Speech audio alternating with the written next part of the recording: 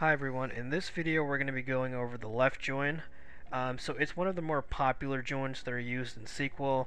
Um, it's also written out as a left outer join because that's what it is. Um, there's no such thing as a left inner join. So, um, but for all intents and purposes we're going to go with left join. Um, so really it's a join that you use in SQL um, when you're joining two or more tables. So to kind of demonstrate how this join would work, we have a Venn diagram here. So let's say the circle on the left hand side represents table A, and then the circle on the right hand side represents table B. In the event that we're interested in seeing all the records from table A, and then stitch that to records from table B, and only include records from table B that are able to link to table A, that's when we would use a left join. So anything in table B that's not able to link to table A would be excluded from this join. And we'll go ahead and demonstrate that now. So I have an environment set up right here um, just to demonstrate what we went over, right? So I have a table called customer and you could see, so we have all the customers lined up. Let's say, you know, this is part of our business. This is a list of all of our customers. Um, and then we have a column to associate you know, the respective sales reps that are assigned to each one of these customers. So we have um, we have their IDs, which we're going to use to link to those sales reps.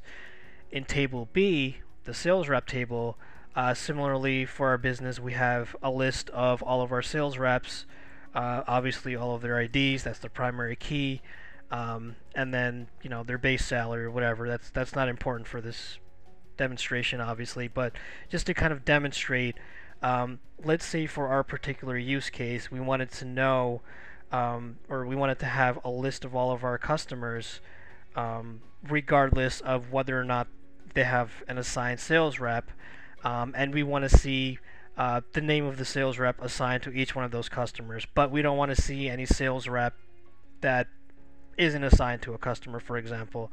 So obviously in a situation like that, you would use a left join. So uh, let's go ahead and demonstrate that. So I'd start out uh, with my select statement. Obviously in a perfect world, we wouldn't want to do a select star from, but because this is a small table, you know, it's not a big issue. So we're going to perform uh, select all from customer. That would be our, now the table on the left hand side. Uh, we want to left join that to the sales rep table. And I'm actually going to give these aliases. So the customers table is going to be called C, the sales reps table is going to be called S.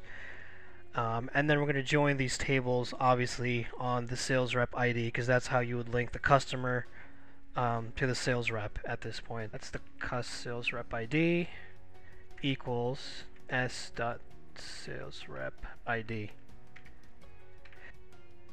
This should give me a list of all the customers um, that exists within that customer table, but it should only give me the sales reps that are associated with a customer. So as you can see here, um, you know, I had seven customers in my customer table. I'm able to see all of those. Um, you'll notice, again, if I query the sales rep table, there were a total of four sales reps.